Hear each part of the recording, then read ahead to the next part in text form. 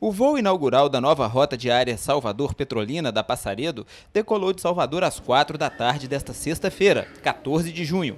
No aeroporto, os passageiros encontraram um receptivo promovido pela Bahia Tursa e pela Secretaria do Turismo do Estado, com muito forró e fitinha do Senhor do Bonfim, para dar boa sorte aos viajantes.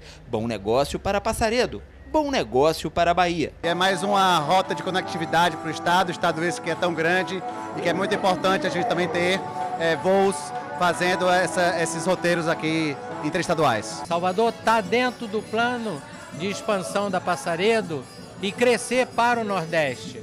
Nossos voos, a maioria deles hoje acontece Centro-Oeste e Sudeste.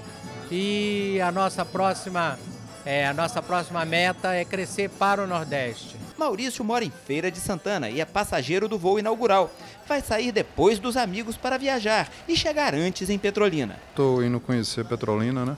Uhum. É, com objetivo meio turístico. Né? Então, assim, um voo que para mim se encaixou perfeitamente, é, na, tanto na ida, né, no meu horário, quanto na volta também.